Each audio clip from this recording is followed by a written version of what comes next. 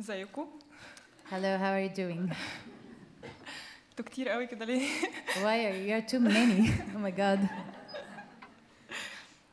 أم، انا اسمي ميام My name is Mayam, وانا فعلا ميام and uh, actually I'm Mayam. أم، اتعودت ان انا ابان والمع Uh, I used to be uh, to be here to shine. اتعودت ان أنا ما اخافش وما استخباش I used not to hide or disappear. ممكن في يوم من الأيام ما تلاقينيش موجوده عشان أكيد هكون واقفه جنب حد تاني Perhaps one day I won't be here, but uh, because I'm standing um, beside someone else, واقول لهم انه مشكلتكم دي ما بتحصلكوش أنتوا لوحدكم and telling these people, this individual, that your problem is not only happening for you.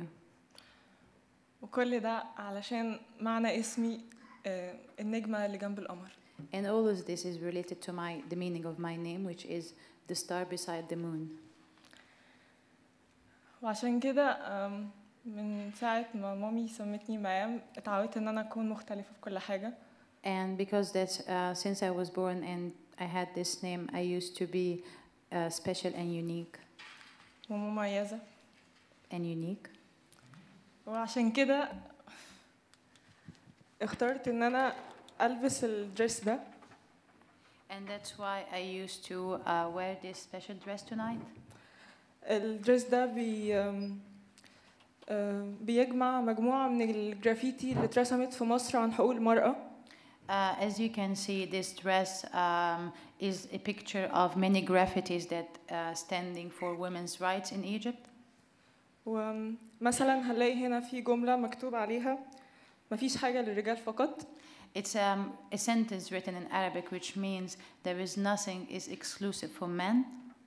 أم، في جملة تانية مكتوب عليها البنت زي الولد Another sentence uh, below you find that uh, mean means uh, girls are like boys. وعشان كده أنا دايما بحب أقول جملة أم، إنه حريتي واجب عليك قبل ما تبقى حق ليا And that's why I always have this um, sentence or uh, a principle is that my freedom is a duty on you before it's my right. أم، أسمعكم دلوقتي uh, one of my tracks I will now perform a song.